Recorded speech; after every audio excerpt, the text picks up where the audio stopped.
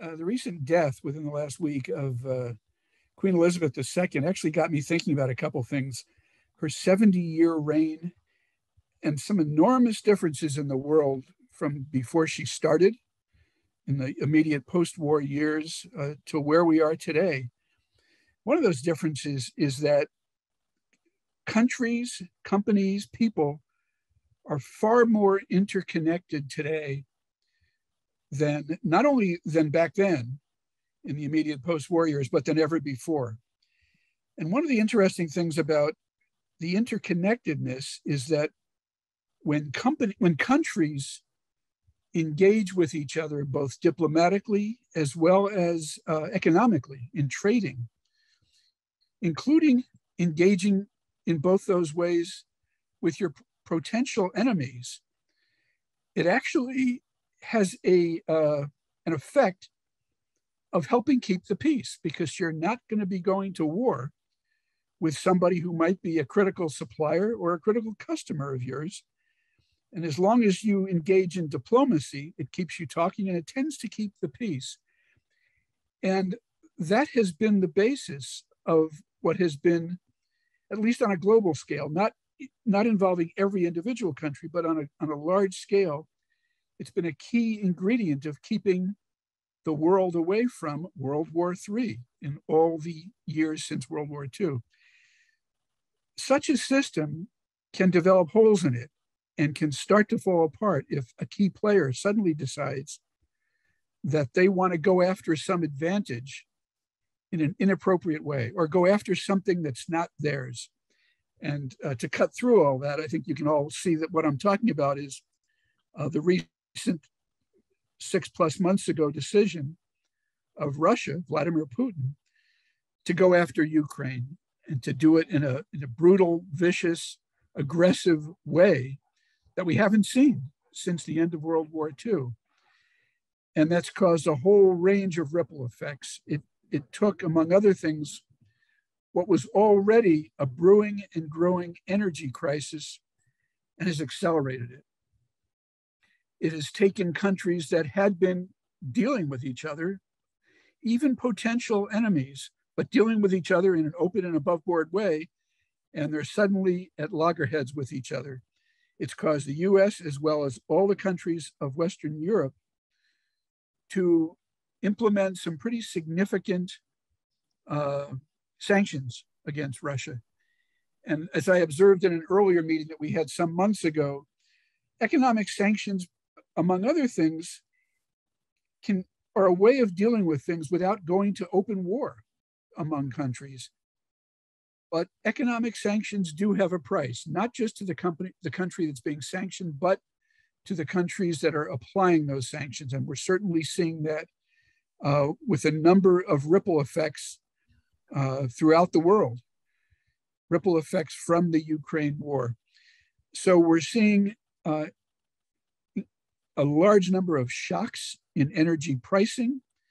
And those shocks are starting themselves are starting to have ripple effects around the world and it's all aspects of energy. It's electricity. It's it's uh, it's coal-based energy. It's oil-based, natural gas, even nuclear, and which might strike some of you as a little unusual, but we'll probably hear some comments from uh, David on that subject as well.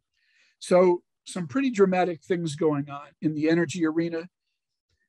Those dramatic things are having ripple effects. They're having effects on from countries to companies and we may start to see company failures with the with the huge increase in energy pricing that we're seeing so we're about to hear a lot of really interesting things let me give a uh, some brief introduction of, of our speaker david edick who has spoken to us several times in the past uh, twice just in just over the past year uh, on a few interesting subjects most recently, some of you may remember in, uh, I think it was April, David spoke to us on the, the global ripple effects of the war in Ukraine, which at the time was new.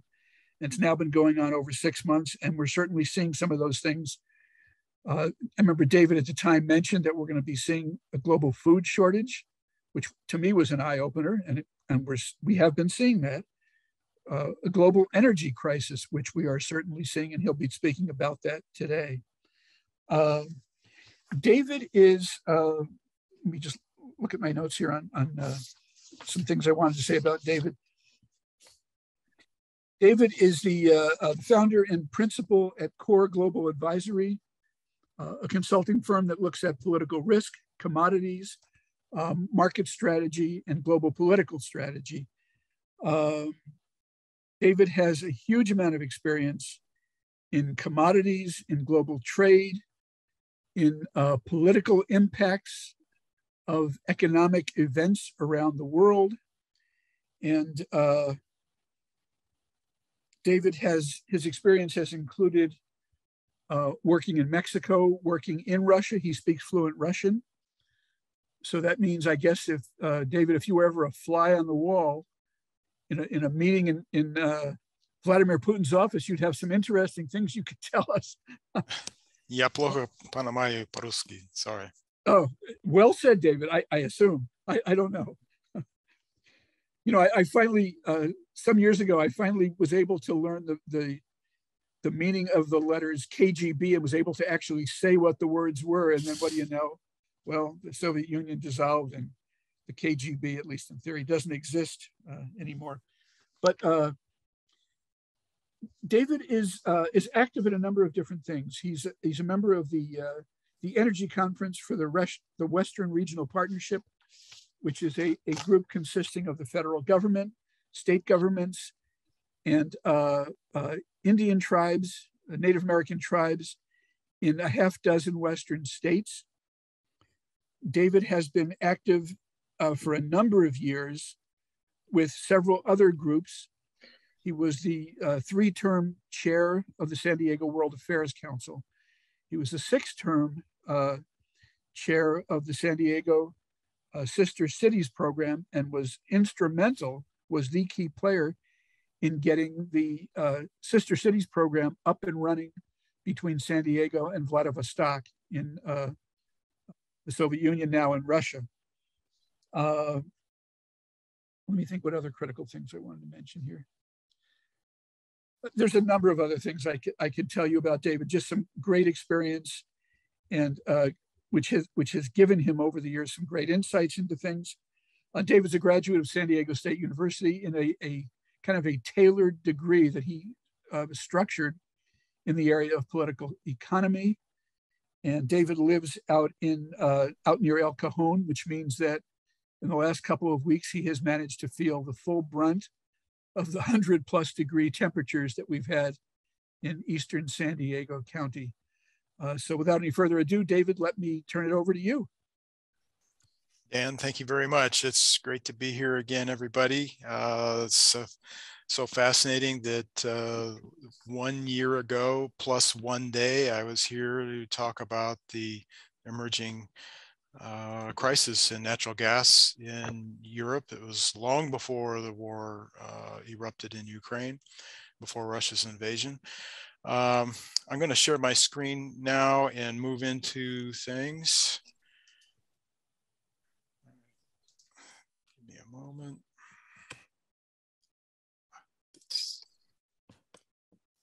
Can you see this? Yeah, it's not a slideshow show. Yep, I'll get there. Yeah. Yeah. I had a little hiccup there. Okay. There you go. All right. so it's a pleasure to be here again with uh, uh, the San Diego chapter of FENG. Uh, it's always a good group of people, good questions.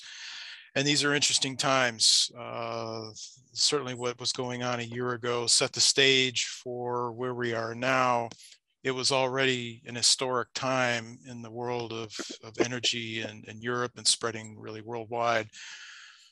Uh, and since then, of course, uh, Russia has invaded Ukraine uh, February 24th, uh, earlier in this year. Now, this this took place against a a complicated backdrop geopolitically. Uh, this has been coming for a while. Uh, some would say that uh, that the war in Ukraine, uh, Russia's war in Ukraine, goes back to 2014, uh, and I think there's a lot to that. but beyond that, uh, the end of the, the Cold War, uh, coming to terms with that, the, uh, the end of uh, America's unipolar moment, uh, and the challenges of really what is a multipolar world uh, transition from what was to what will be, and we're still working on what that's going to be. So this is this is a Russia's invasion of Ukraine and all the consequences of it are are big, important, uh, and there's more to come. Uh, this is uh, certainly a fascinating situation. And it will get scary, I'm afraid, before it's all said and done. And we haven't even started talking about uh, China, US uh, East Asia relations. So time is a factor. I've got a bunch of slides here. Uh, if you want them, the slide deck will be available either from me or through uh, Charlotte or, or through uh, Dan Ruckman. But let's go. So this down here a little bit so I could see. Okay, so indeed, you know, everyone on this call is aware of a uh, shocking explosion, uh, an historic explosion in the price of energy in Europe. Looking here at a, at a chart for natural gas, I want to draw your attention to number one coming over here. You can already see that there was a, a dramatic scene in European energy circles when uh, Russia invaded Ukraine. And uh, in the months since then, it's been really a never ending drama. Most recently, uh, uh, with the uh, staged closure of the Nord Stream 1 pipeline, which was really the backbone flow from Russia to Europe. And prices peaked out here, uh, say about uh, a week or so ago. Uh, $100 uh, per million BTU uh, and in, in uh, Henry Hub is you know roughly the eight nine dollars thereabouts. I haven't checked here uh, recently. Now this price here is has backed off into the to, to the upper 50s, but still, if you're looking at sixty dollars, that is still a, a, a, shocking price. In this presentation, I am going to talk about uh, natural gas in Europe. That's kind of the, has been the focal point of the, the crisis. Uh, I'm going to talk about uh, the, the Repower EU, uh, which was the European Union's uh, plan essentially to de-Russify. Uh, let's just be clear that uh, Russia's invasion of Ukraine is, is open warfare. The sanctions from the West are open economic warfare, and the Russians have responded in recent months to that. Uh, it used to be the idea with sanctions were kind of a soft way to conduct a conflict or coerce uh, an entity or an actor into different action. This is hardball of the first order and the consequences are global. I'll talk uh, about the energy shock, not just gas, but uh, electricity, talk about the energy company financial turbulence, uh, the consequence of hedging in an extraordinary volatile environment, talk about the economic impacts uh, and the deindustrialization that in fact uh, much of Europe faces uh, in the years to come as a result of these soaring energy prices uh, that are going to be around for a while. I'll talk a little bit about the forthcoming sanctions on Russian oil and oil products and the potential for a price cap and uh, a few takeaways at the end. So looking at Europe, uh, the, the, on the right here, the, this is primary energy and use in Europe. Oil is primarily for transportation gas is split three ways between, uh, say, uh, residential and municipal heating. Uh, electricity generation is another third, and then industrial uses, say, things like fertilizer manufacturing or petrochemicals, uh, et cetera. Coal has uh, been a fading part of the European energy profile. uh, until this last year. Uh, and coal is getting a rebirth, uh, rather extraordinary rebirth. Uh, uh, to, the, to the degree that Europe can change directions in a hurry. Renewables have a significant place in the European flow. It's, it's electricity, as is nuclear power, which has been fading. Both of these are controversial topics, let's say, and nobody talks about hydro. But in terms of the Russian thing that affects oil, gas, and coal, Europe is on the chart on the left. Whoops, sorry, the chart on the left. Europe is uh, uh, one of the, the, second largest consumer in the world. Uh, is a modest producer. Russia is a heavily gasified economy. About 60% of Russia's primary energy is from natural gas. Uh, so what they don't sell abroad, they can use at home uh, or keep in the ground. Um, point out uh, Norway and Qatar, major producers, are also major LNG export. Uh, excuse me, Norway is a pipeline, uh, major exporter to Europe. Australia is a major LNG producer worldwide, as is Qatar, uh, vying with the US, which is pulled into the lead in terms of global LNG production but uh, Australia and Qatar are major players in LNG, and Norway is also a major player in pipeline natural gas to Europe. As I mentioned, uh, in, in Europe, gas is used roughly a third for electric power, roughly a third for buildings, transportation, you, you know, heating, you know, residential, et cetera, and then the industrial. Uh, an important factor uh, in use for natural gas in Europe, since heating is an important component of it, you have winter demand surges every year. And that's really the purpose for storage in Europe is to uh, handle the, the seasonal surge. This is a challenge for uh, you know, removing Russia from the gas supply equation, we've just gone through the summer months where if Russia is not sending any gas to Europe here in June, July, and August, it's not really a big deal. It is a big deal in the winter. And uh, these flows uh, are before uh, storage flows. So if Russia is not part of the picture this winter, uh, Europe will be depending a great deal on storage and uh, expanded LNG exports. And an important factor to consider about storage is that you can you can only pull it so fast.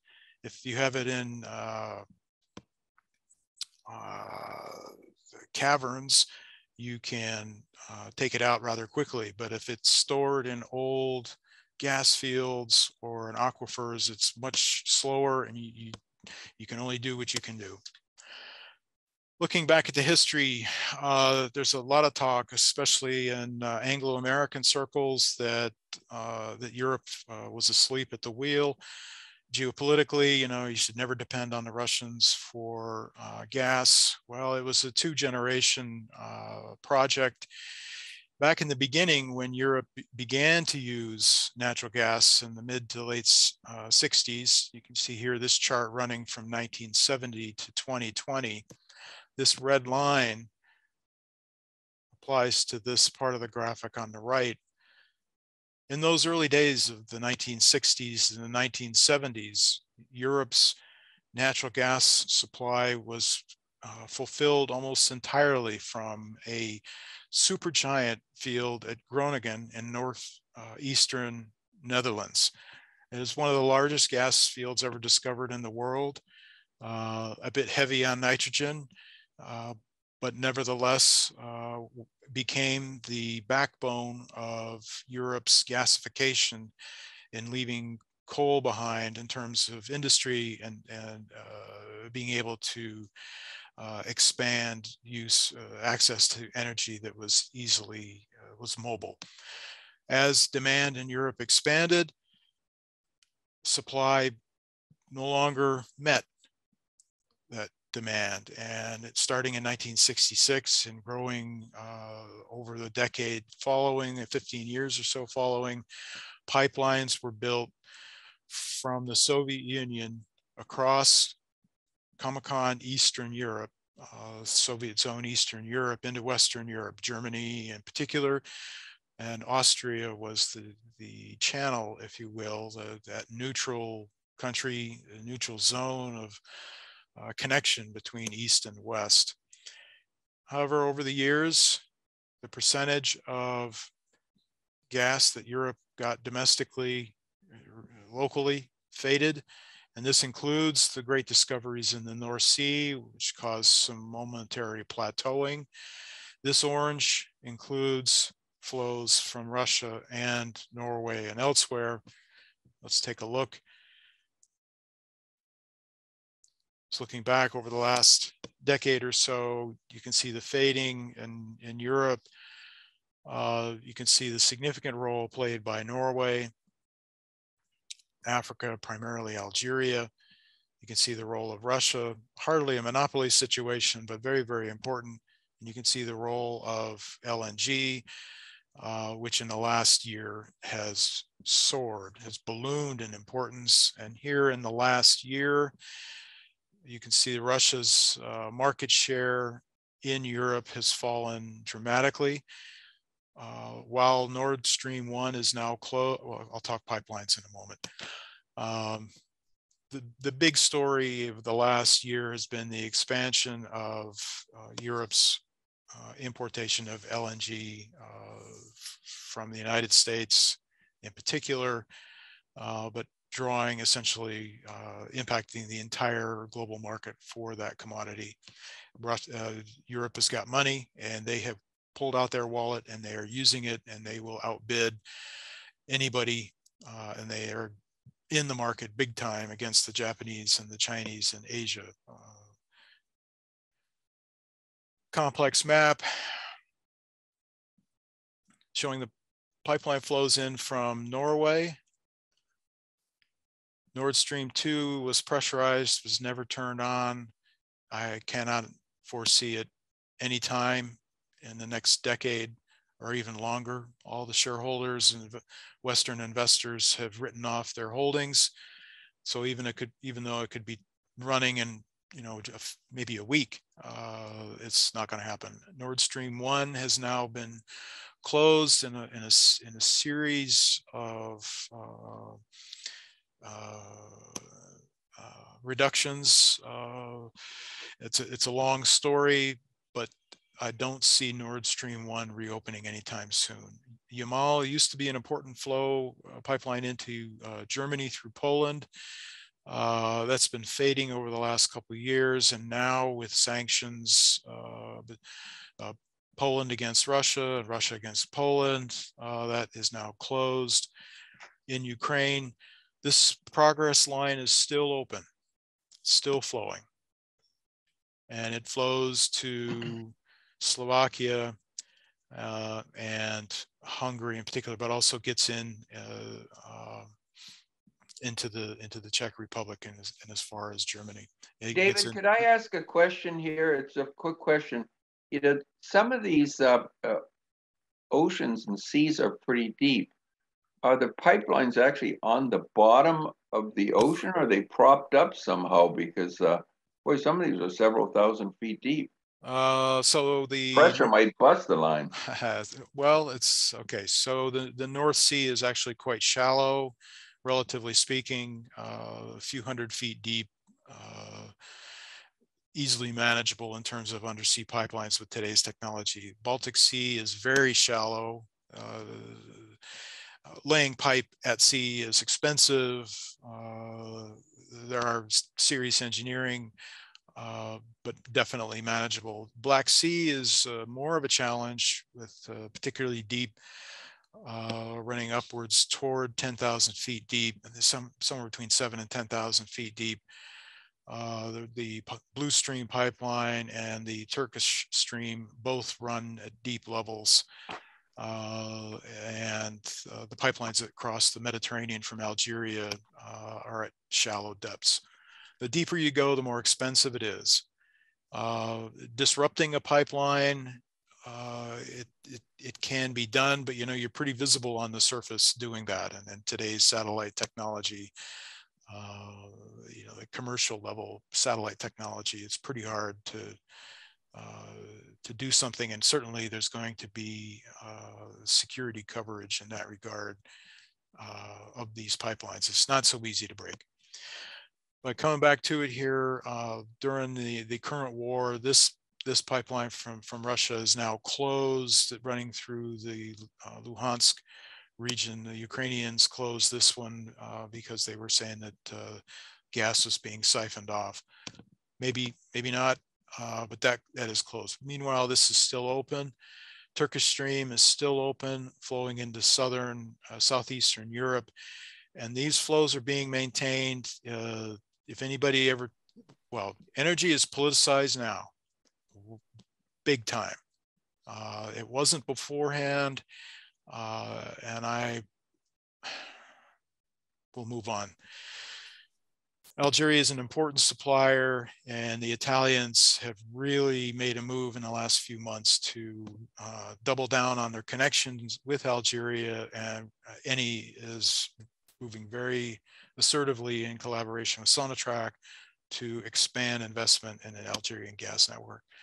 De-Russification. Okay, so uh, there is the the common view in the media is that uh, Russia has has weaponized natural gas.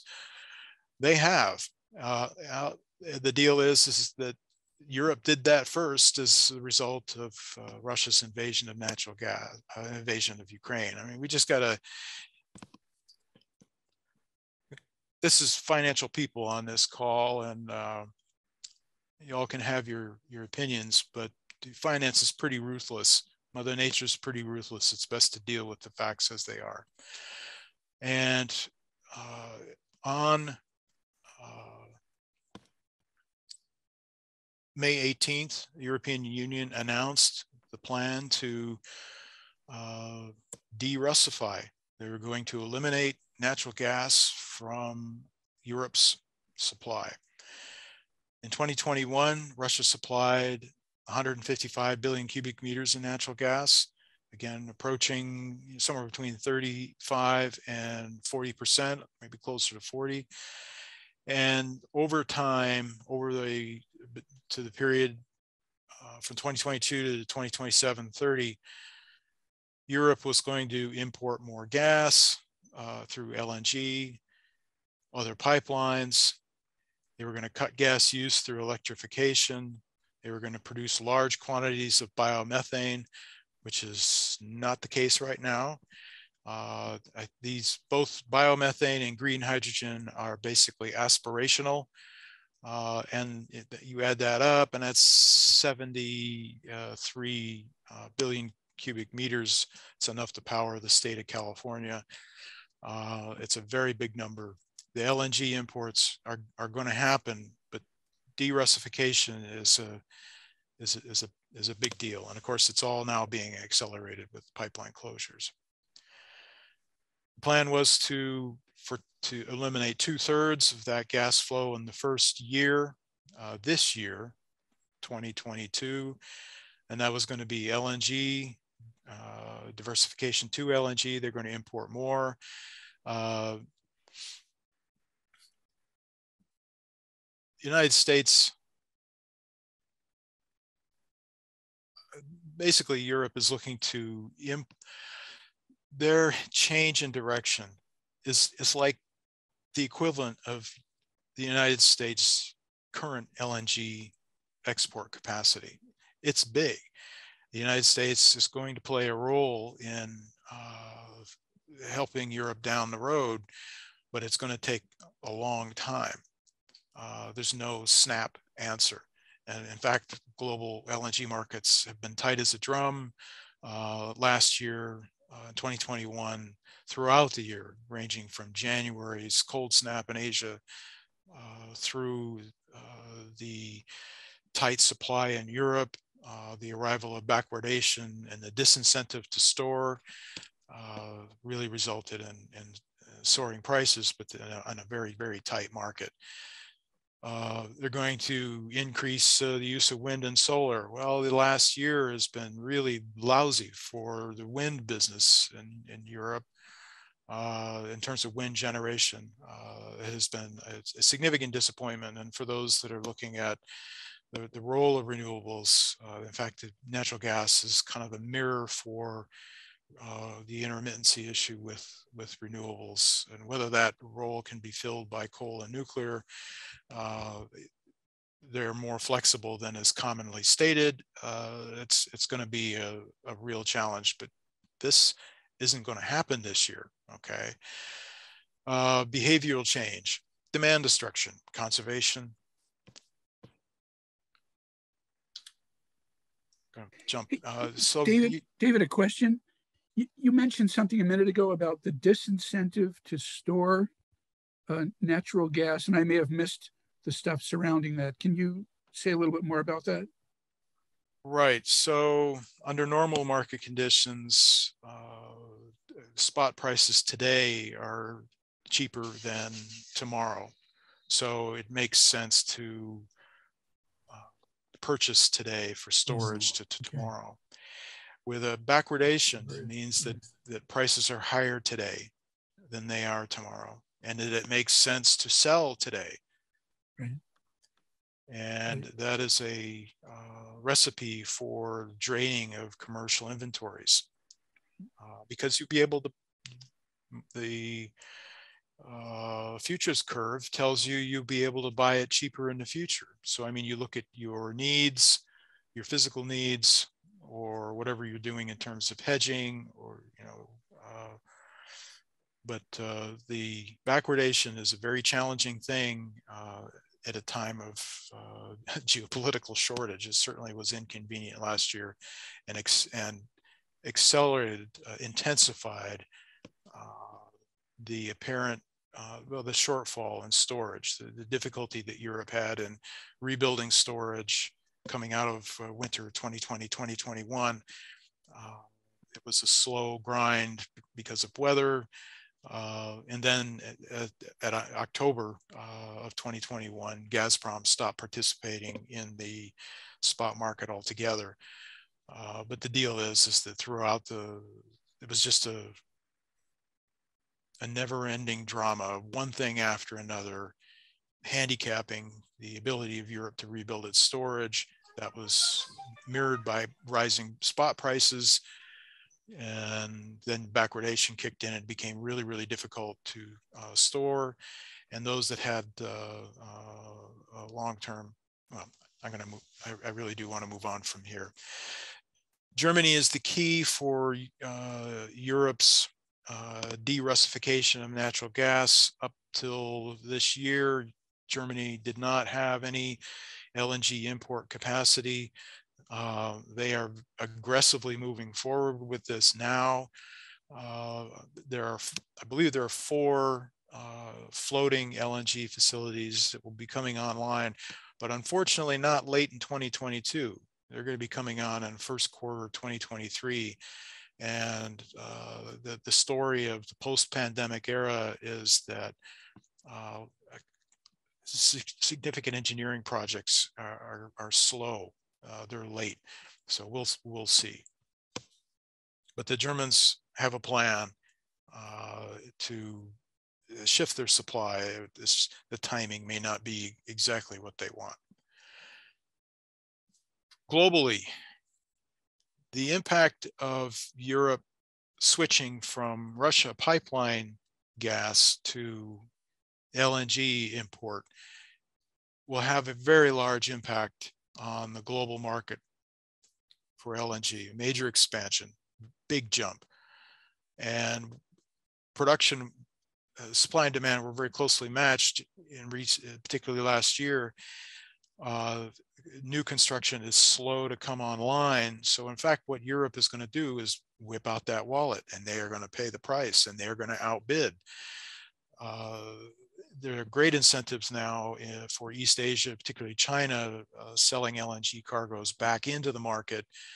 Uh, and part of the, their domestic demand is light because of their COVID situation, but also uh, they've got some cheap contract gas that picking up from the United States and also some spot cargoes cheap from Russia, and they are uh, getting those into, into Europe.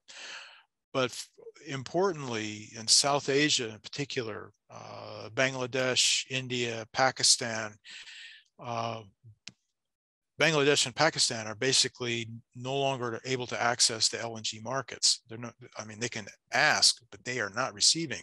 And in fact, contracts have been broken supply contracts to Pakistan have been broken a number of times in the last months as companies were willing to pay the price, the, the break fee, if you will. And uh, the prices in Europe were so high that that uh, companies were willing to take the hit to reputation and pay the break fee. So LNG is not going to Pakistan, a country of 210 plus million people uh, Bangladesh, big country, uh, one of those places that uh, uh people are looking to move manufacturing out of China. Uh, Vietnam gets a lot of attention, rightfully so, but Bangladesh is also an, an important uh, destination for the, a lot of the lower value manufacturing, textiles, clothing, etc. Uh, but India is also getting hurt uh, by this as well. It's driven up their natural gas prices. Uh, the government is stepping in and subsidizing it so that they can maintain their fertilizer production. They need the gas; they don't have it domestically. Uh, so it's it's hitting India in, in the in the pocket there. Uh, and the long term is Europe is changing the direction of the global LNG market. Prices are having an impact. Uh, this this graphic really is it's subtle uh, currently, the total gas demand in Europe seems to be down on the order of, of 10% and accelerating downward as prices, uh, spot prices, of course, are at the moon, but the contract prices, long-term contract prices are adjusting uh, as the months and quarters go by, and uh, those prices are heading uh, uh, toward spot levels, if you will uh, certainly rising from earlier prices. So the incentives are there to save. Uh, and on really right now, the big savings are taking place on the industrial side.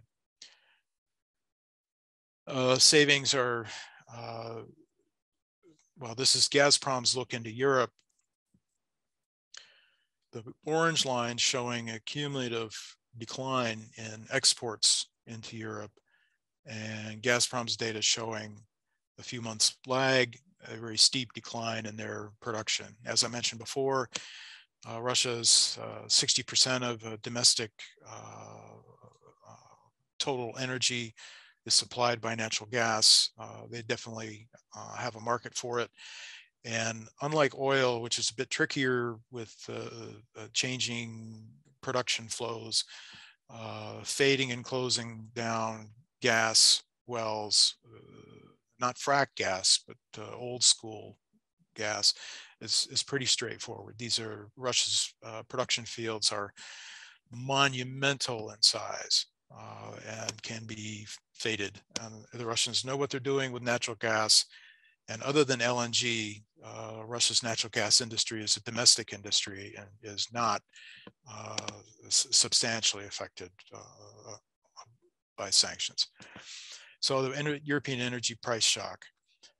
Um, it began before the war as natural gas. These are household prices. Okay, so there's there's so many different price points out there. So much, so many numbers get thrown around, and I just thought it would be useful to look at what the households are facing right now. Uh, and coming up to the war, it was it was pretty serious. Now, measures have gone into place in recent months to uh, subsidize consumers, protect consumers, households in particular, but now increasingly uh, uh, companies manufacturing are getting greater attention. Electricity is also, uh, th now this is partly gas, but it is far from just a gas story. Uh, the situation with the uh, nuclear fleet in France, with about half of it offline now because, in particular, because of a corrosion issue found in uh, a whole fleet of the older uh, plants, uh, same model built on a, uh, a Frenchified version of a Westinghouse design. These plants are now operating well past their originally intended lifespan. And in this old age, if you will, it turns out that uh, a corrosion problem has developed unexpectedly and most inconveniently. Uh, France is uh, very much an importer of electricity much of the day now uh, in Europe and is depending on electricity imports from UK and from Germany. And those German gas uh, exports are generated by natural gas. So there's a bit of a, floor under the the decline in usage of gas in Europe, despite the prices, because of the demand for electricity in France to fill in that nuclear hole.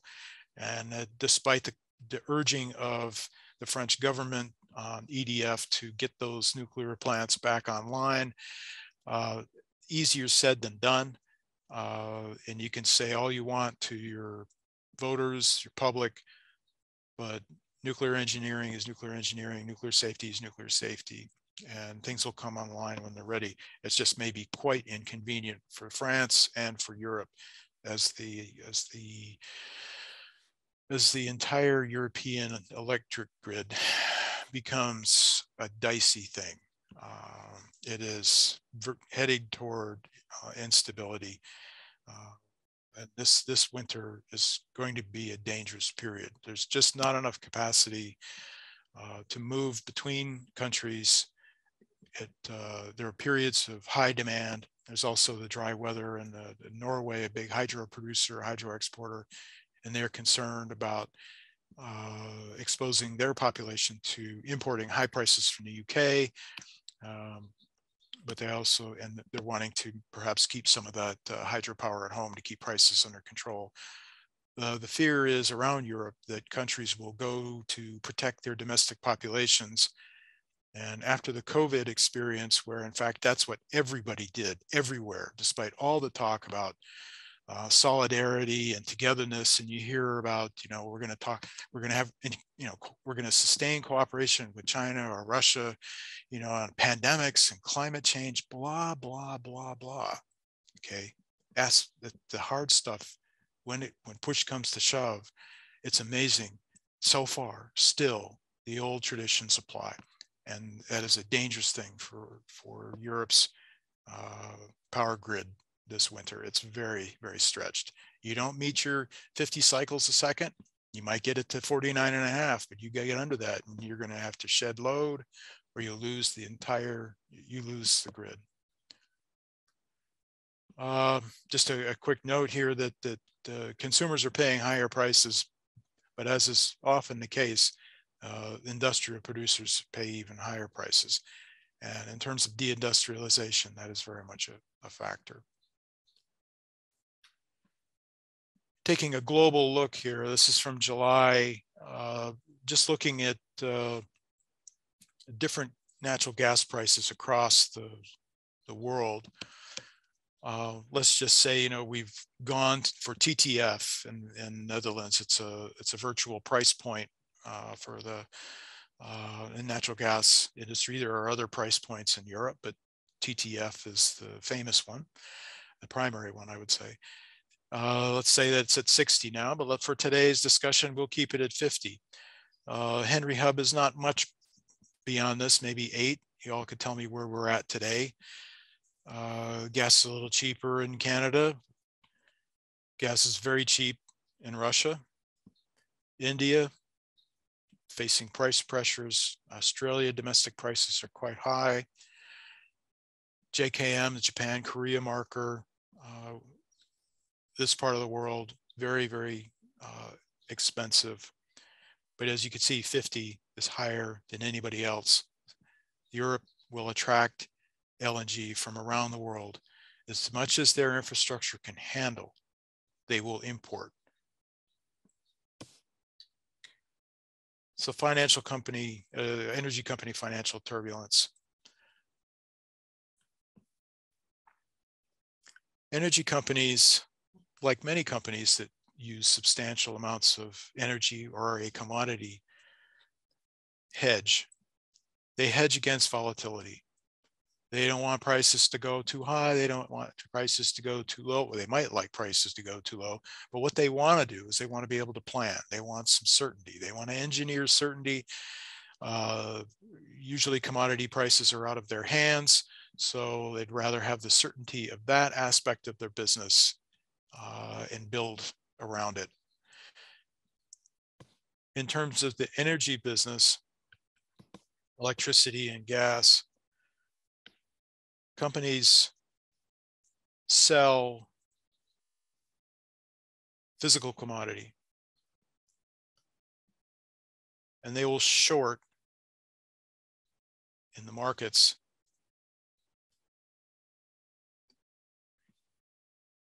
With the surge in pricing with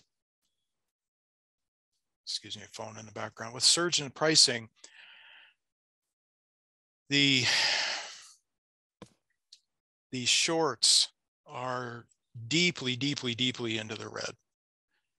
And the total uh, i mean the scale the change in the scale of pricing essentially a balloon has expanded tremendously. Uh, and it it sucks up a tremendous amount of capital. And in terms of the hedging strategies margin calls become an important factor. And $1.5 trillion in paper value of margin calls, that's a lot. and it's beyond the uh, financial capacity of much of the energy industry in Europe. and they don't necessarily, you you meet margin calls with cash, uh, and you either have cash on hand or you have bank credit. And many of the biggest energy companies have maxed out their cash and credit supplies. You're welcome, and I, if you're interested in this, uh, I recommend digging into it. Uh, it's a, it's a fascinating topic. And as Europe comes to attempt to cap electricity prices, it'll be interesting to see how that affects uh, uh, margin calls, the hedging strategies, et cetera. It, while capping the prices is probably a good thing uh, in the grand scheme, because the the ability to reduce demand is relatively in, inelastic over the, the short term and increased supply is also relatively inelastic. So you can get some crazy things with prices. So caps, there's some some good reasons for it. It adds another layer of uncertainty and instability to an already very, very complex situation.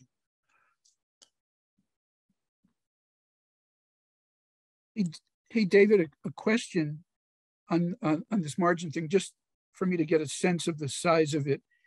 Are, are you saying that 1.5 trillion is the amount of contracts on margin, or it's the amount of margin calls it's, it's expected the amount, to come in? It's the amount on margin. Okay. So if if the if the margin calls fail, you can get some very large cascades through the system where mm. suddenly you have counterparty risk where you didn't expect it. And you really could shred uh, the energy sector with some significant feedback effects into the financial sector, banks, uh, the, the clearinghouses themselves could be a risk of failure. So while companies are selling physical product essentially forward, and it takes a while for that cash to come through. They've got these short positions that are a balance that they have to finance. Economic impacts. Okay. So these are fertilizer exporters in the world. Fertilizer being a key component of agriculture. Now, of course, now this doesn't show the domestic production. Uh, I wish I had a graphic for you, but just like grain flows the export flows for fertilizer are very, very, very important. And this center, you know, Russia's Russia, they've got gas, and as long as they can uh, clear through uh, uh, logistics sanctions uh, and self-sanctioning behavior abroad, they're going to be able to place their product abroad. They are running into problems with uh, insurance and logistics, and that's going to become a factor in the continuation of this Ukraine grain export deal. But that's another topic for another day. Europe's export position for fertilizer is in a world of trouble. And it's affecting pretty much, you know, these, these prices are, are high. Um, it's affecting everybody and it feeds through into the agriculture sector worldwide. Uh, fertilizer prices here in the United States basically doubled last fall.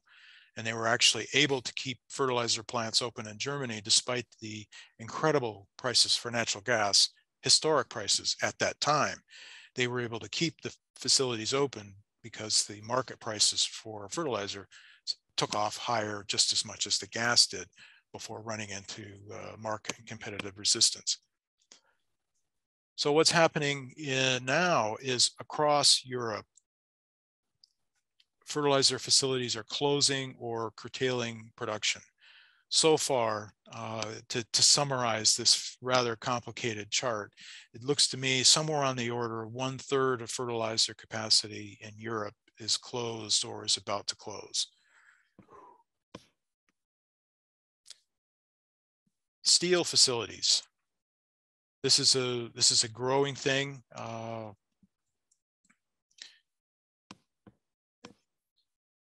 closing down a blast furnace is is not that hard. Restarting one is. It's a, it's immensely complex. Same thing with aluminum.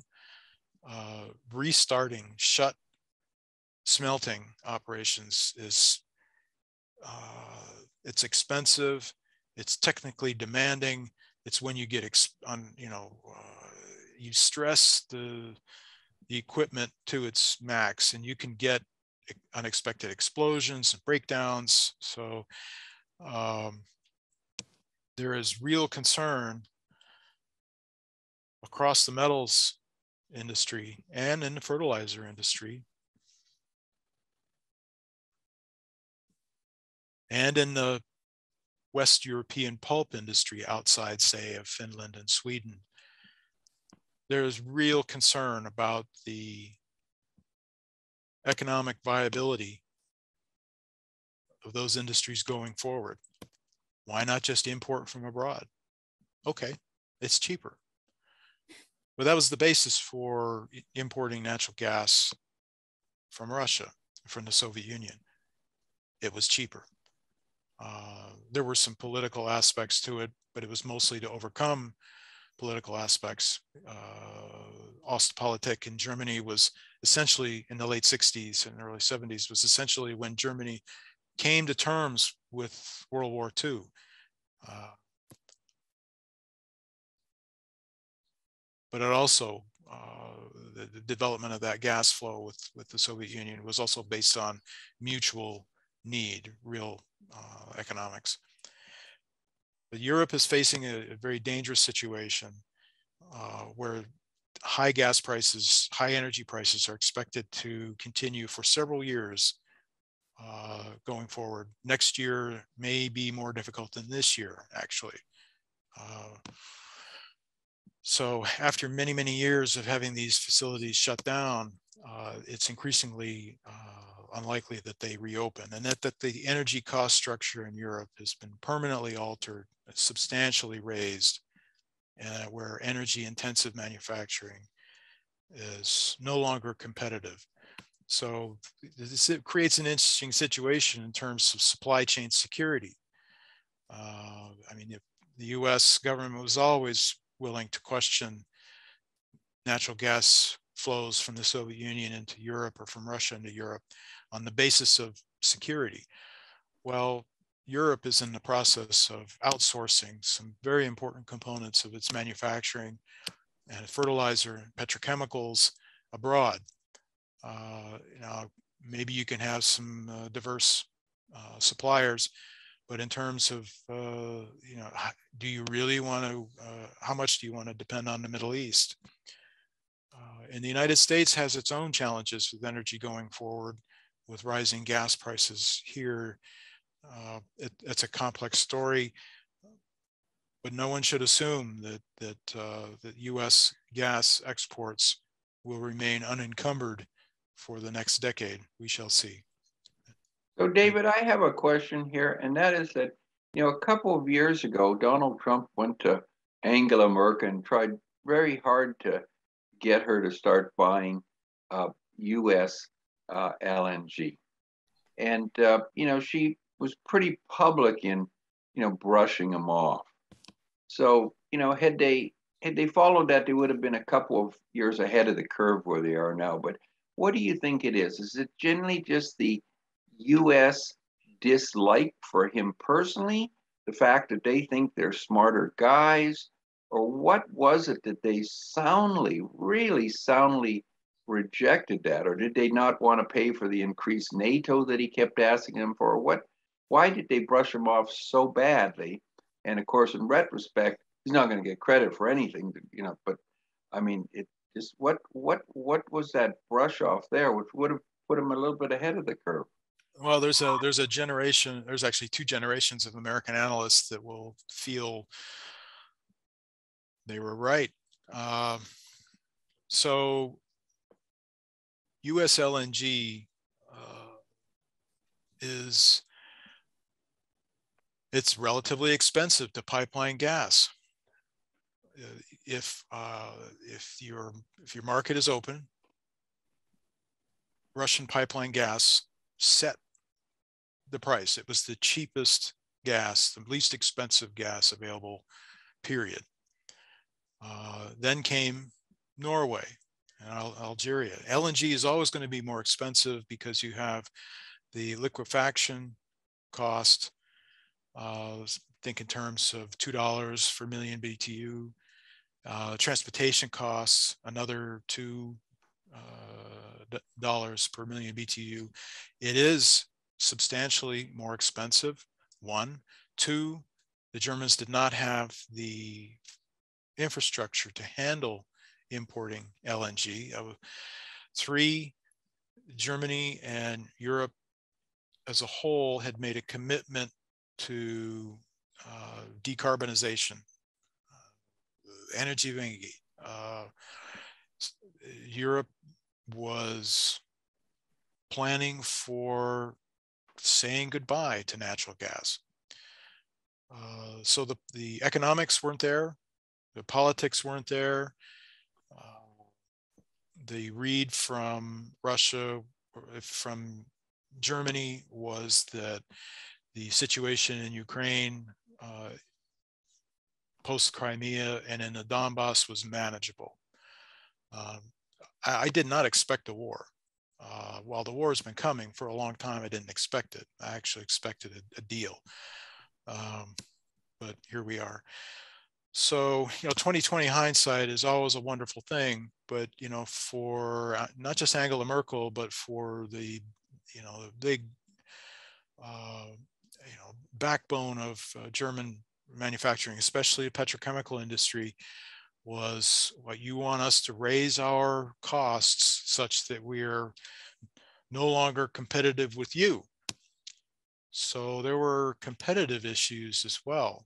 Uh, the U.S. is pretty close to the the cheapest, lowest cost producer of uh, petrochemicals. Well, up until the Texas freeze uh, 2021. We're still dealing with equipment problems from that. But uh, the United States is the low cost producer for a wide variety of petrochemicals based on uh, frac gas, uh, the natural gas liquids. And what we were asking was for Germany to become less competitive. Well, okay. Running forward, uh, it it so happens that the uh, surging price for gas in Germany is materially affecting demand. We just saw the closures uh, for fertilizer, for metals. Uh, there is uh, uh, uh, switching of fuels from gas to oil, from gas to coal, from gas to LPG, liquid, liquefied petroleum gas, butane, propane. That's that's going on.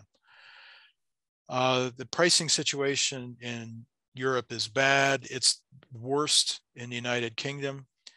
Looking back over 50 years of what households are spending on gas and electric, uh, what's taken place starting in 2021, before the war, uh, because of the, the way markets are designed, uh, essentially marginal cost pricing, where the last plant or the last increment of supply, the, the, the price that it takes to bring that to market, that's the price that all other suppliers get. Uh, so if, if you are a renewables producer and you're in the daytime, you have very, very low costs. Uh, you're, you know, the, the, the renewables, wind and solar to the degree that they're able, biomass, hydro, the degree that they're able to uh, produce and deliver, they're, they are minting money right now uh, on the basis of the uh, this uh, marginal cost pricing uh, scenario. So this, we're looking at pretty dramatic price change here. Uh, and if you're a six figure uh, income white collar worker, well, you could probably manage it, and much, and those people in the UK will. But about a, a third of the UK population is going to get taken to the wall uh, in terms of, and I mean to the wall, and a lot of them are going to be underwater. If you were on uh, fixed income pension, uh, you're low income person, you're also dealing with rising rents there, just like here. Uh, uh, cost of living pressures are tremendous, rising costs of food, uh, to to have this dramatic, and to, this is before Liz Truss, her first act is basically her first act as Prime Minister of UK now, was to uh, bring on this uh, bailout package, and I'll touch on that next.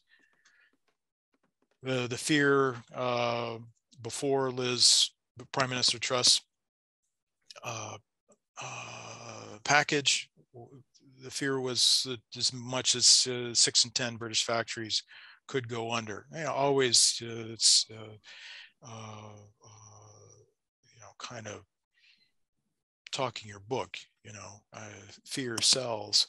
Obviously, six and 10 British factories were unlikely to go under. But if, if two out of, if 20% of British manufacturing goes under, that's going to be noticed uh, by shareholders, by workers, and by politicians and a tremendous jump in electricity already. So the UK uh, Prime Minister Truss, uh, um, this bailout package, if you will, subsidy package, uh, over the next couple years, somewhere between 150 and 200 billion pounds. Uh, business subsidies only will last for six months. So on the other side of this winter, next spring, going into summer, UK business is going to be left either with a price spike or an extension in the subsidies. But this 150 to 200 billion pounds over a couple years period, yeah, it's a big number. How big? Cut income tax to zero for an entire year. Basically, that's 25% of the total British government income, the national level income, over 9% of national income. You could cut, you could eliminate taxes on gasoline and uh, diesel. And, and pretty much everybody on this call has read one time or another or experienced the immense tax burden on liquid hydrocarbon fuels in Europe. So you could eliminate that duty entirely for eight years in the UK. That's the kind of scale that we're looking at here. It's a huge amount of money. And it's not clear how really they're going to pay for it other than borrow. And prices could go higher. Uh, we'll see. Looking at things with a, a bit of a global perspective, this red line shows the TTF hub price in Europe. This gray line showing the JKM marker, Japan Korea marker. This lower line is Henry Hub in Louisiana. It's pretty clear how closely TTF and JKM track each other. There was a big cold snap in East Asia in January 2021. Price spiked. In Europe last fall, prices spiked. They spiked so high that they pulled supply out of Asia. And that's where you got that, those uh, flotillas of LNG uh, ships going from North America or reversing direction out of the Pacific. Uh, when you could make a couple hundred million dollars, you could clear a couple hundred million dollars on a cargo, a shipload of LNG. That'll get the attention of a lot of people and if you're in a position to, you know, because of winter's a bit on the warm side, you don't need it. Or if you're able to use domestic or imported coal or uh, oil instead of gas, you can put that LNG back on the market. But Europe and Asia are kind of in a in a tug of war. Asia doesn't have any capacity to store. Uh, the geology in East Asia is such uh, that there's there's you can't there's there's no salt deposits salt you know deep salt deposits you can hollow out for cavern storage. There are no lng no gas uh, fields that you can recharge. Uh, it's just that so, so the lng uh, and gas flow in east asia is a very close supply and demand thing very little storage. And when it you know they are electricity in East Asia, especially Japan and Korea, uh, less so in, in, in, China. For China, it's, uh, it's uh, heating. Uh, but regardless, it, it, it's utility supply and there's not a, not a lot of voluntariness to utility supply. You pay for it or not have it. And if you don't have it, you either explain it to the government or your customers why you don't have it. And a reflection of this is a surge of uh, fuel oil, refined fuel oil imports into Japan. Um, it also took place during the winter. But it's begun early here in August as the Japanese are fading LNG. You know, they contract supplies that, that are you know, they're contracted to take delivery from the United States, uh, you could uh, sell it on to Europe. Most large energy companies have their own in-house trading outfits uh, that buy and sell uh, as per the interest of the parent company uh, or the their their mandate. And so uh, it's a factor for Japan. This is a look at the French nuclear situation. Um, 2020 is an outlier year because of the pandemic. All kinds of strange things happened, and it's really hard to do any kind of stati statistical analysis based on 2020 data for anything. But looking at things now, basically the French nuclear industry is running at half capacity and is going to go deep into the winter, perhaps even through the winter, well into 2023, eh, perhaps longer. There's no clear answer when this resolves. A lot of talk, but engineering is engineering is engineering. We'll see. But at this point, France has become a substantial importer in Western Europe of electricity, uh, which is affecting natural gas, as I mentioned before, but it's also sub- really impacting electricity flows across Europe. One thing is, that is in the process of emerging now is uh, a tax on not just fossil fuel firms, but it's also going to include renewables world. Uh, electricity generators uh, in particular are going to be facing some big taxes to pay for these uh, uh, capped prices. Uh,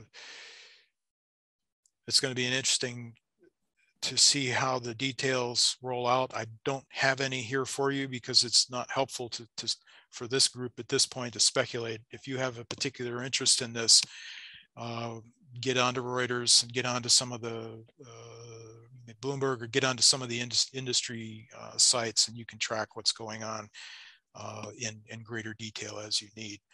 I'm going to jump through European coal just to say that uh, Russia was a major player globally uh, and about uh, 40, 46% of Europe's uh, imports of coal, which were very substantial as part of the whole.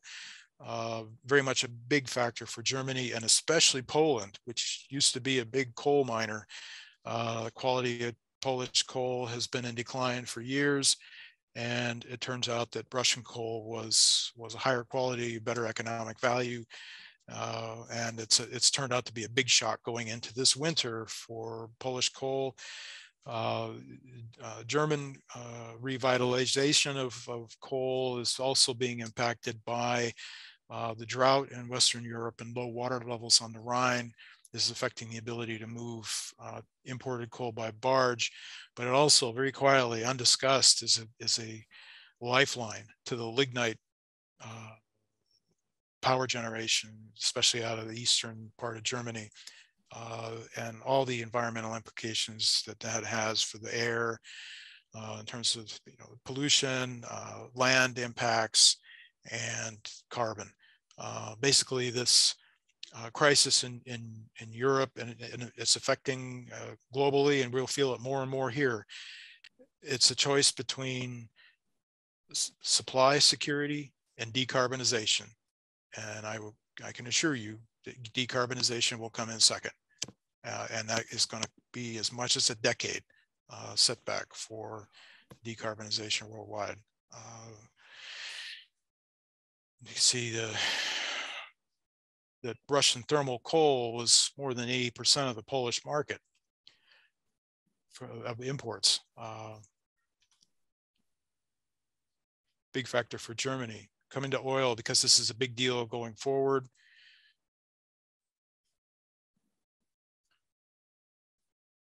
So Russia exports not just a, uh, a, great deal of crude oil, somewhere on the order of 5 million barrels a day. It also exports around two and a half million barrels a day of products, oil products, uh, gasoline, diesel, heavy fuel oil. Did I mention diesel? Germany, big biggest country, biggest importer. The Netherlands being a port of entry for all of uh, uh, northwestern Europe. Uh, Poland has got it. Uh, both Poland and Germany are connected to the uh, Druzhba pipeline and have large refineries that are dependent on flows from Russia. Diesel this is going to be a big deal. Uh, there are sanctions coming on December 5th where uh, uh, Europe will embargo all seaborne tanker level, all seaborne imports of crude oil. And then on February 5th, 2023, the EU will embargo all imports of oil products, including diesel from Russia. And I don't know where they're going to get the diesel. Uh, uh Russia's going to be selling and has been selling more oil products into the Middle East, where Middle Eastern producers have their own refinery infrastructure, are very active in product trade worldwide, and are substituting, uh, blending, et cetera, et cetera. Uh, it's going to be very interesting to, to see how this all plays out against the backdrop of, of very tight supplies for diesel worldwide. These are crack spreads, spreads uh, uh, refinery crack spreads, basically showing that the profitability for refining ref refined diesel is shockingly high, probably historic, although I haven't done the research to, to get you the a concrete answer. Jet fuel is also very, very high these middle distillates, uh, middle distillates uh, with a with a preference toward medium to heavy crudes because of the the, the longer carbon chain molecules that you're going to get in those middle distillates. Gasoline crack spreads have gone negative in Northwest Europe and Singapore and are crashing in the US. And so gasoline prices worldwide are heading down and will continue to head down, but diesel is a big, big, big problem. And along with the embargo that uh, the European Union is planning for Russian crude oil and for products, uh, discussion has been underway for some months, uh, led by the United States uh, with support from UK to put a price cap.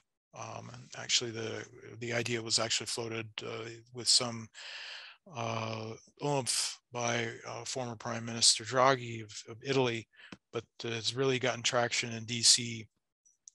However, and the idea behind that is that uh, Russia will be paid a price for its supplies, but a capped price with the intent to reduce the total income going back to Russia to reduce the resources available to fight the war today and tomorrow.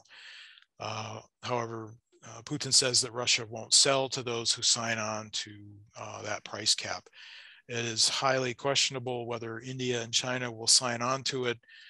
Uh, and it's a, it presents a very interesting situation for uh, divide and rule, if you will, you know, uh, targeting of specific countries uh, and how that is handled in the media and the markets. Uh, markets being uh, certainly tending to panic these days. Uh, rather, this is not these energy markets are not a sleepy place. you you could you could throw things against the wall in a sleepy market and nobody'd notice. But right now, you can move a foot and somebody's going to, you know, jump a price somewhere. Hey, David, is, is that uh, likely to cause uh, Russian shipments at higher levels to India and China, and then reshipment out of India and China to Europe on an expanded black market? Uh, black market, yes. Uh, this this whole process is actually a, a massive incentive to black marketing, uh, backdoor, uh, and, and everything that comes with a black market. Uh, whether you know what role India and China play in the development of that black market, uh, I, I, I really don't see that so much. But hmm. the Indians have already uh, given blanket coverage to insurance out of uh, out of Dubai, I believe. Uh, to uh, the, the, the Russians have set up quite a number of trading outfits uh, recently, but they've for years they've had operations in Dubai. Um, they have just been scaled up substantially, and so Sovcomflot, uh, big shipping company for Russians, they are they've received blanket insurance coverage from from India. So flows to India will not be affected by the uh, the, the cap being um, kind of uh, enforced through access to insurance and shipping. Mm-hmm. Remains to be seen. Um, something on the order of two thirds of uh, liquid hydrocarbons coming out of Russia since the war began. Uh, it's increasingly on uh, upwards of two thirds are on uh, Greek owned tankers, uh, whether the Greek operations are based in Cyprus or elsewhere, but it's it's a real challenge for the Greeks and it's a challenge for the EU about how they want to handle it. Insurance is heavily uh, hmm. based in London, but it's not the only place where insurance is done. Uh, this is going to make a mess of the if the cap is imposed uh, and uh, despite what's taken place here over the last few days, no one should think that this war is going to end and end shortly just looking at this chart here, this is the uh, oil flows, uh, oil exports out of Russia to the EU. This is a very big number. You're looking on the order of one, two, almost three million barrels a day. Uh, they're going to have to source elsewhere or have the Russians go along with a cap. The Russians have run into to, uh, a kind of a buzzsaw of uh, uh, falling global oil prices, anyways. Uh, you know, um, the big issue in the, in the, liquid hydrocarbons world is refining capacity. It's not the availability of crude so much, uh, although that that's that's a long-term big issue. Uh, underinvestment uh, in fossil energy is going to be a big problem, and is going to be a spanner across the knees for the renewables people because the politics are going to become so toxic. Uh, it's it's it's going to be an interesting situation for sure. So the takeaways for those of you who were here on the April 5th call, I want to build on the takeaways from then. Uh, are the are the financial this was pre uh, sanctions on insurance and logistics or price cap it remains to be seen just how um, how serious this disruption could be. It turns out that there are other options for insurance.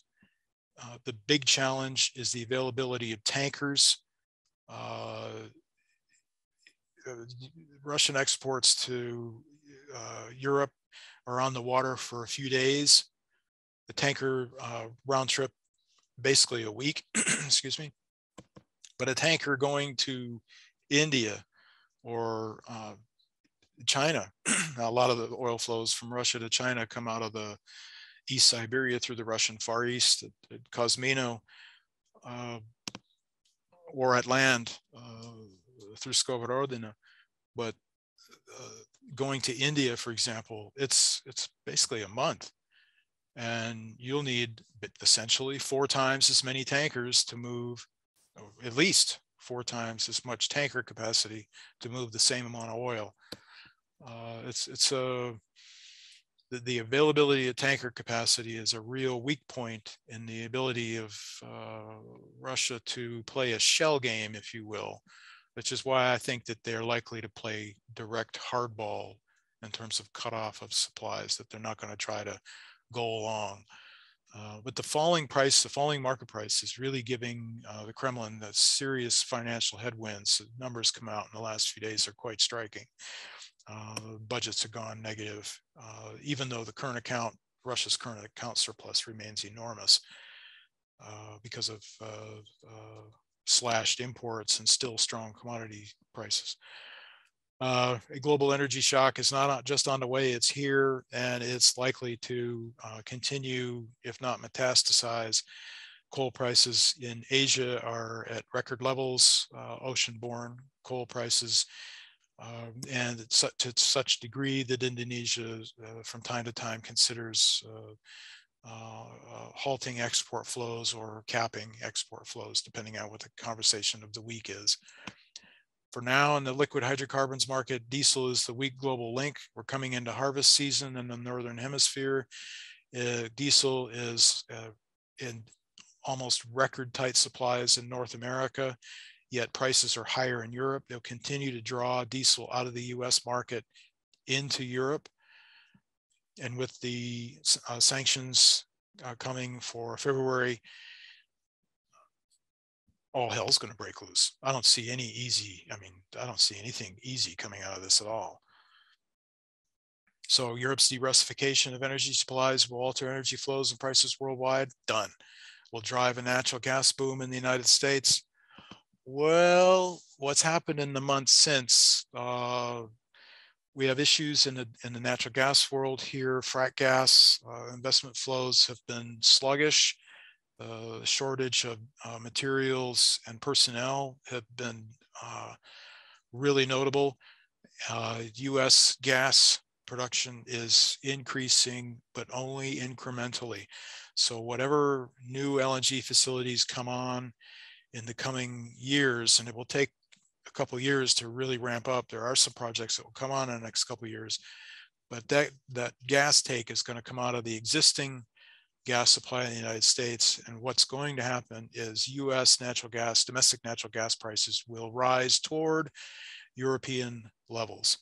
Uh, and that will be a very, very unpleasant wake up call for those talking the game of energy independence it's not so independent after all. If you're in a traded commodity, well, you can put your own uh, export restrictions on. And a, and a, uh, uh, a energy crisis in the Northeast is, is almost assured with a cold, really bad cold snap sometime in the next couple winters. Uh, and the politics of that are assuredly going to be toxic. The prices have already started coming up in the US, uh, and it's put significant pressure on electricity prices. You can check your own utility bill wherever you are in the United States, and you're going to be higher than you were last year. Uh, so David, just a quick one. The, uh, it seems like energy policy is going to be a big difference whether that shock in the Northeast happens before or after the elections. If you have a cold October and people have to go and put in some more oil in the Northeast, it might make a difference in how the how the uh, uh, politics work out. So maybe otherwise, don't, you think that's a big difference where it hits? Because after the election, it's too late. You know,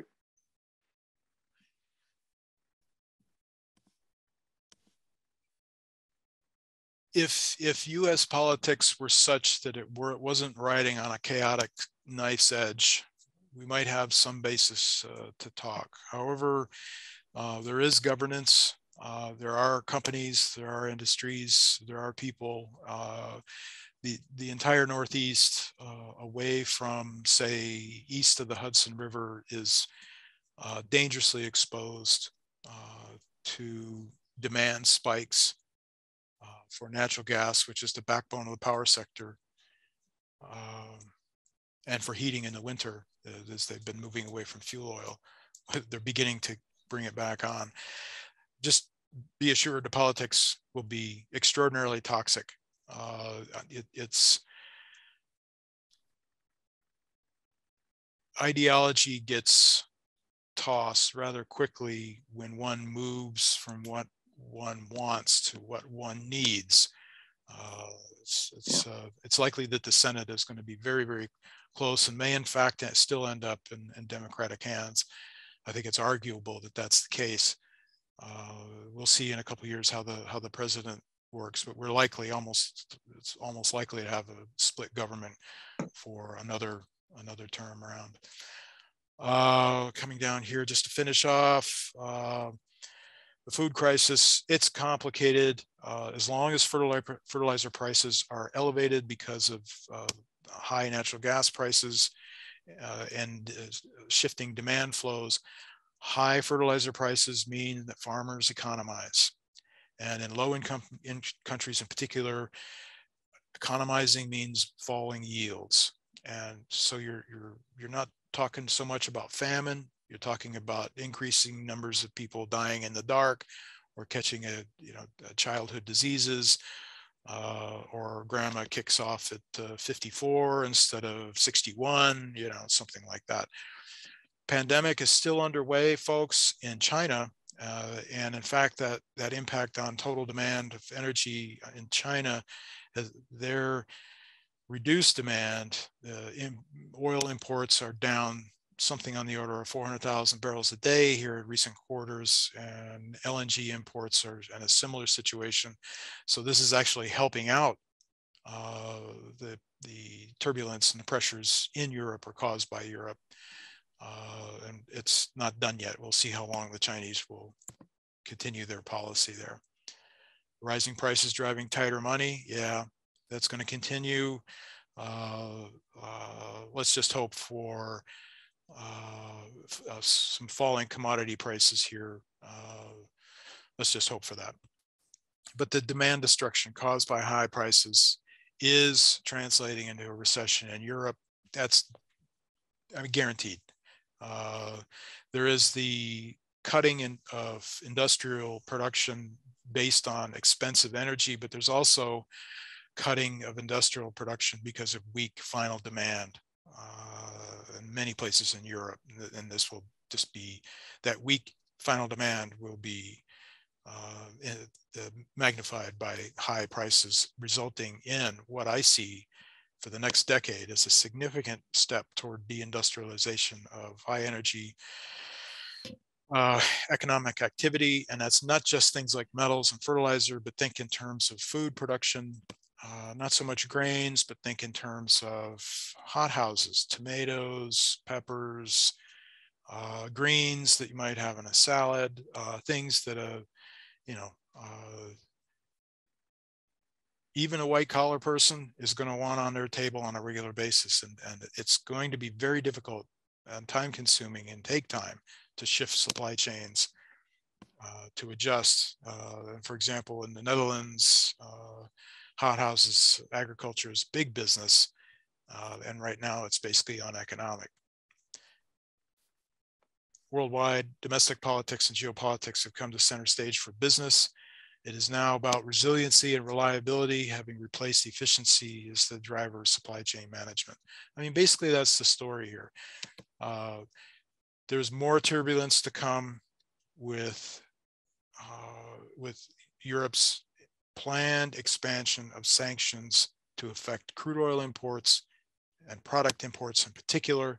Again, two and a half million barrels a day of product imports coming into Europe in addition to the 3 million barrels a day of crudes. This is uh, certain to bring a, a, a, tough, we're looking at two or three very challenging years, even in the face of uh, uh, total energy demand cuts caused by recession. It's going to be a tough time going forward. And where all this war ends up, who knows? But that's enough for now. Thank you.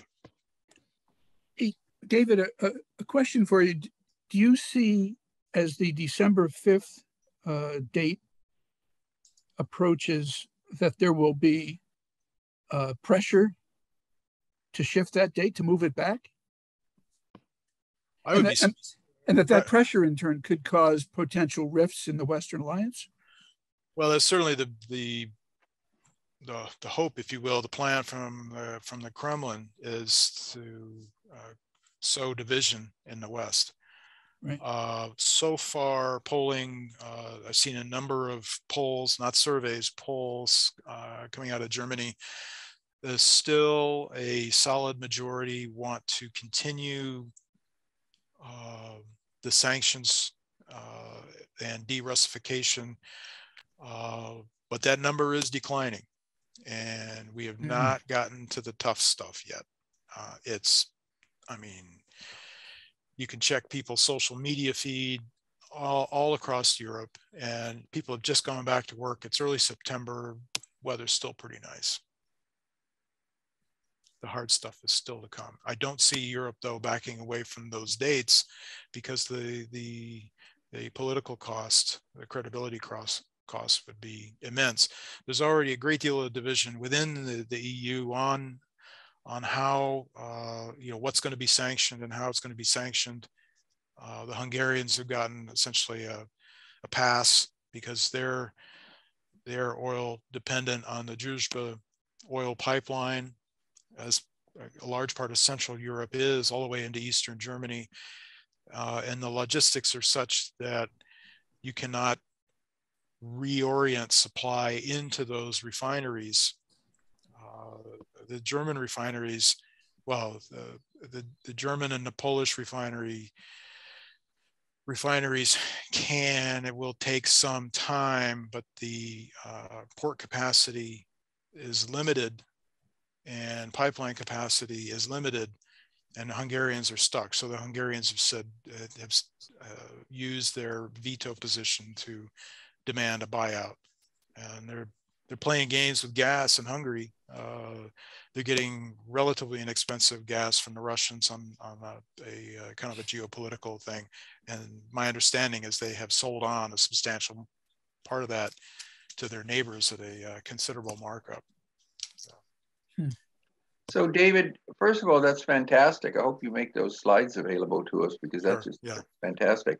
But uh, back in in June, we had the, our uh, Harvard Business School uh, reunion, and uh, they had William Taylor, who was mm. who talked about after the victory, Ukraine and Europe, and so, you know, he was Ukrainian ambassador at one time, and you know, he did just like uh, Jim Carr here, gave everybody pretty much a chance to talk after he made uh, presentation. But what I found, you know, pretty interesting, and ethnically I'm Ukrainian, so but that's 120 years ago, so I have nothing in common with the guys today, because they were they were like serfs, and you know they were in uh, Austria-Hungary Empire. But uh, you know what happens is that there was a, a, a lot of people that would say, "Hey, how about China?" You know, I mean, China in an invasion of of Taiwan, in terms of just a lot of things that we need here, uh, would make a huge difference. And you know, I think uh, one comment there was, "Geez, the stock market probably dropped twenty percent the first day of the invasion," and it seems like we are historically more tied to uh, to Europe. So, are we? and you know you look at it and say maybe there's certainly uh, who knows if they ever invade but you know there's there's a real problem with the supply chain because you know they've got uh, they can probably knock out one or two of our aircraft carriers where, where they couldn't have done it before. And uh, you know where's our semiconductors and stuff? I I mean, I still have my slide rule, so maybe I'm okay. Uh, a few of you guys maybe know how to do the abacus, but it seems like we've stripped off and put a lot of troops in the other place. We probably should have a couple of brigades and armored brigades in Taiwan to kind of protect it. So you think maybe this is not the, the time to talk about it, but it seems like we're exposing us out by putting so much on in in the front lines in in Europe, in Eastern Europe, as opposed to maybe, you know, paying more attention to Taiwan. I actually think that so far we're the the U.S. is doing this on the cheap. Uh, that the the working assumption has been that Russia in D.C. was that Russia was a declining power and would you know had you know you'd get all kinds of these uh, economic comparisons. So you know it's the GDP of Italy or the GDP of California. You know, and it was was just not. But you look in the world of commodities and Russia is has a, a, crucial stands at a crucial uh, point in a, in a, rather significant spectrum of commodities, particularly in energy and energy uh, metals, uh, and playing word games and statistic games. Uh, I think has been a has done a deep disservice to strategic strategic thinking in DC. Uh, uh, anyone who thinks that you can remove Russia from the global uh, uh, energy scene without massive, mega historic consequences for economies all over the world. Uh, and really, about half the world is like very much on the sidelines about this uh, the war in Ukraine. Um, many of them having also seen that this was coming for quite a while. Uh, uh, the US is selling arms and making financial contributions, but NATO is not engaging in, in, in combat, and I, I don't see it getting involved in combat. Um, Russia has gone into this war with essentially a peacetime army. Uh, they have not mobilized. Uh, it has been a disaster in terms of military power projection. It's been a, just a murderous butchery uh, in terms of uh, planning and leadership and execution. And I can assure you that there are consequences for that building in Russia, uh, especially amongst the set that wanted to see this done and wanted to see it done right. Uh, and the, the original plan was out of Moscow, out of the Kremlin, was this invasion would happen in a week and it'd be done. Well, here we are six months later, and we're now having a, a, a very serious uh, break in uh, eastern Ukraine. The Russians are suffering a very, very major defeat and very public inside Russia. Uh, it's been fascinating to follow uh, social media, Telegram uh, in particular. Uh, things things are not going well there. There will be consequences of this the situation isn't, with China. Isn't it that a dictator? I mean, you respect if you're a Russian and a Russian nationalist, you respect a, a dictator who's a winner. You don't respect a dictator who's losing, and it seems like uh, he's making the Putin's making the, and I'm not talking from American point of view, we're talking about a Russian. Yeah. He should have just thrown everything in it because, yeah. you know, to go in and not win or at least get some territory, it's going to be catastrophic. And maybe some strong man, even stronger man, will come in. We can't assume that some weak little mousy guy is going to get take over and suddenly he's going to say, "Hey, man, we'll pay you reparations for the next 40 years or something like that." No, the next, uh, yeah, uh, the current regime in the Kremlin is increasingly brittle. Uh, I mean, substantially so. Uh, and there's been growing criticism. Uh, if you want to take uh, get a get a sense of where things are headed over, say, the arc of the next five to ten years, you can read a piece by Dmitry Trenin uh, in uh, Russian international relations. Uh, uh, if somebody wants the link, I can get it to you. But basically, the the the this era of kleptocracy and ineffective ineffectiveness, um, this whole current regime could be swept away.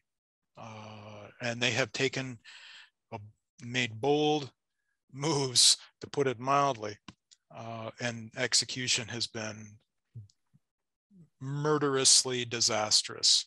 Uh, and you're right, you know, the, the, the, Russians will go along with an authoritarian uh, dictatorship. No, the, the Brit of Moscow doesn't go like the Brit of Beijing. It's a different culture. Uh, but Russians uh, appreciate an authoritarian perspective as long as you do the job as long as you're effective. If you're not, we'll tell you what you want to hear. And if it's really bad, somebody will, somebody else will take your take your spot. But your point about uh, China uh, and the Taiwan, uh, this is a global. We, it's a big world out there, and what's happening in East Asia. You know what the talk in DC is about. What kind of lessons does China take away from this? Uh, well, one is that that uh, mobile defense is very effective. Well, you talk to anybody in the U.S. Navy in a position of serious responsibility, and they will tell you about the tyranny of distance. And basically, you're looking at three to four weeks to sail from the west coast to the U.S. into the Western Pacific. Two two weeks at, at peak speed. A lot can happen in two, three, four weeks. Um, and the ability of the United States Navy to move logistics is so, you know, a lot of talk about defending Taiwan, a lot of talk about power projection, but the, the Chinese Navy in that region has become particularly capable. Uh, and I do think that the, the, the, US is, is spread thin. Uh, I think by and large, we're looking at the world as it once was 20 years ago. And, it, and the, the deal is, is I, I don't see the Russians rolling over. I spent 30 plus years of my life from the late Soviet Union on through and a decade beforehand and studying it. Um, they are not going to end up being the, the, the lackey of the Chinese. Uh, for those of you that read closely and carefully, you will see that there was a second wave of arrests of Russian uh, uh, technology experts that had been doing uh, collaborative work with Chinese and uh, advanced technologies. Uh, so there's a line there. Uh, the Russians are going to end up being uh, one of those multipolar points. And the Chinese have their hands full at home. They've got a, they have a real economic challenge, uh, a, a huge, you know, at least in the US, you know, in our housing bubble and coming into the 2007 credit crisis and 2008 recession, by and large, people lived in those houses the Chinese property sector is uh, primarily an investment vehicle, you know, a lot of it.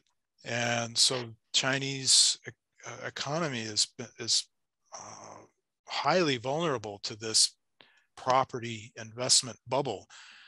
Um, and the, you know, the, I don't see China going from strength to strength, although it has the best, uh, the most advanced concentration of uh, manufacturing uh, know-how, the art of manufacturing is some of it was invented in Taiwan, but in terms of a very sophisticated manufacturing ecosystem, it's the most advanced in the world.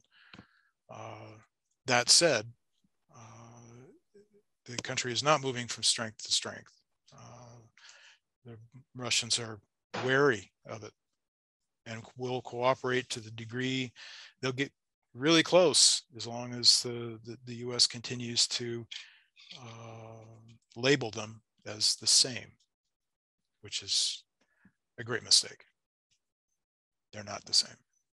And to be effective with the substantial but a limited American power, we have to be a little more creative in our policy making abroad. And we have to be thinking, you know, India is not just waiting to fall in. India is making their own track. Uh, you read uh, uh, not just uh, the you know defense manufacturing and procurement, but all a number of other aspects of economic development for India. Uh, they're going their own way. They are going to pursue their own national interest, and it's for anybody on this call that's been to India in the last five years, you'll know a little bit of what I'm talking about. And if you haven't, go. Um, anyways, I'm rambling. Thanks. Thanks, Gary. David, I think I'll uh, we'll end it here. And if, if people want to stick around for a little bit, they can. But uh, I appreciate the patience. No, thank you very much for uh, some great insights, a lot of information. Uh, a lot of information. Uh, appreciate it as always. Let me just uh, a couple of closing things for people. Uh, Charlotte will be sending out the uh, uh, the link to the recording as well as a copy of David's slides to everybody. Yes. Yep. Uh, Jim Carr, uh, shortly, not immediately, but shortly, will be sending out uh, the the paperwork for you to get back if you want CPE credit. So be sure to keep an eye out for that. Uh, our next meeting will be just a few weeks from now. The first Tuesday, we'll be back to the first Tuesday because there's no holidays at the beginning of October. So October 4th. And uh, for at some point, probably before the end of this year, we'll look to be returning to in-person meetings. Uh, we'll have to see how it goes. But uh, so kind of keep an eye out for that down the road. Let me think what else. Uh, I think that's pretty much it. Thanks everybody for coming uh, for the, the remaining group here. Uh, obviously, here's your letter grade from my cup that I always hold in my moderating duties. This is a great you, job, David. Yeah. Check out the slide deck. I went through a lot of stuff yeah. in a hurry. Take your time, go for what's interesting to you. But thank you all for your, your time and attention.